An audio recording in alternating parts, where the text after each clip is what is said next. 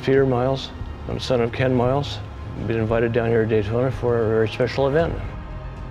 Well, I was just basically a kid at the time, uh, but my father was working for Shelby.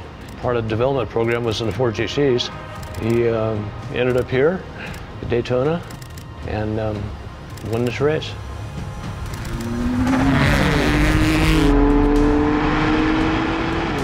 My name is Joey Hand. I was involved with the Ford GT race program and Chip Ganassi Racing from the beginning. Fortunately able to win Le Mans with the Ford GT and Daytona and a few other races and this program was the highlight of my career in life.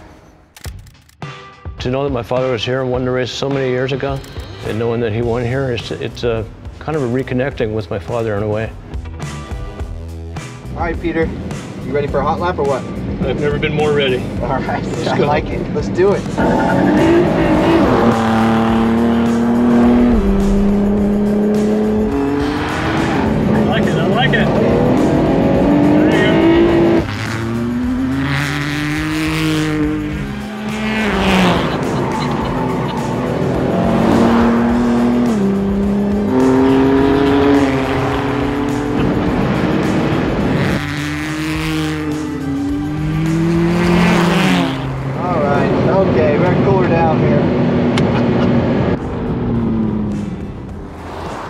Yeah, it's quite a difference. Uh, things have moved along in 50 years.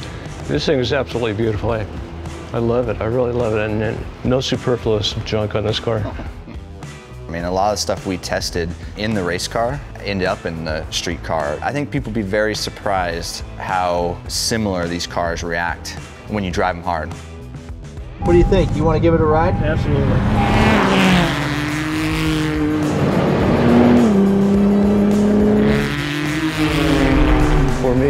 To sit in a car that my dad raced, it's really exciting, and I really appreciate Ford doing this for me.